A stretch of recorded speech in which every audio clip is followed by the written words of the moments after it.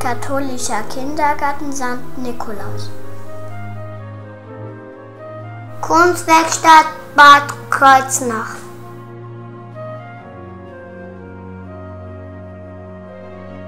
Alisa und Lukas.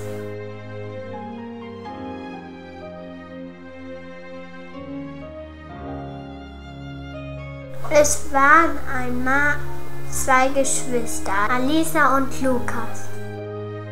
Sie lebten bei ihrem Onkel Thorsten, Tante Corinna am Rande eines Waldes. Eines Morgens gingen sie in den Wald zum Spielen. Da gab's viel Interessantes. Blumen, Schmetterlinge und Vögel.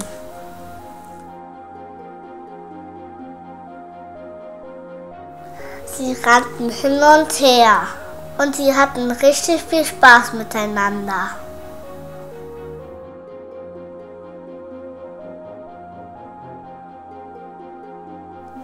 Plötzlich wussten Alisa und Lukas nicht, wo sie waren.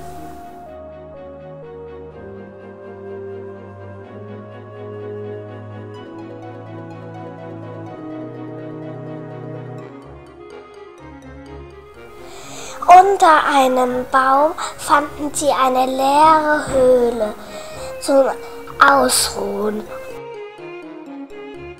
Da war eine Schatzkiste mit viel, viel Schokolade drin.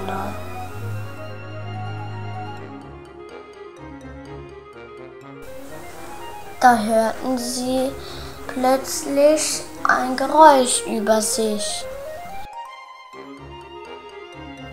Es waren Fledermäuse, die in ihre Höhle zurückkehrten.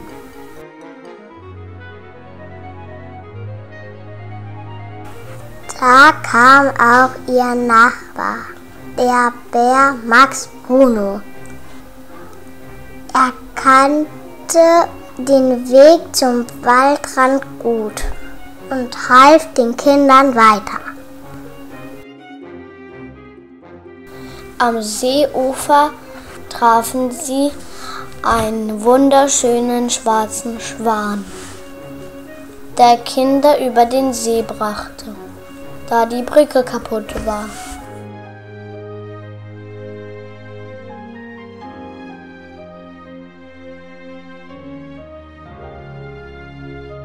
Alisa und Lukas freuten sich sehr, dass sie den Weg wieder nach Hause fanden.